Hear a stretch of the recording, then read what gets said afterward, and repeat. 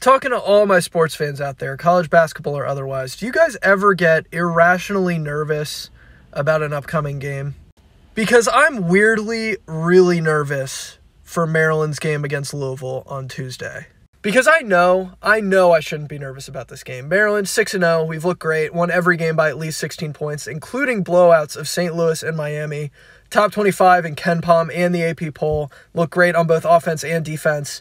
Louisville, on the other hand, they lose to any team you put in front of them. Wright State, App State, Bellarmine scored 13 points and a half against Texas Tech. They're objectively awful. But playing Louisville is playing Russian roulette. It's playing hot potato. There's going to be one game this year where they get their act together and manage to pull out a win, and you do not want to be the team that loses to them. Based on everything we've seen so far, Maryland will probably enter this game favored by double digits. They should beat the brakes off Louisville. That's what should happen.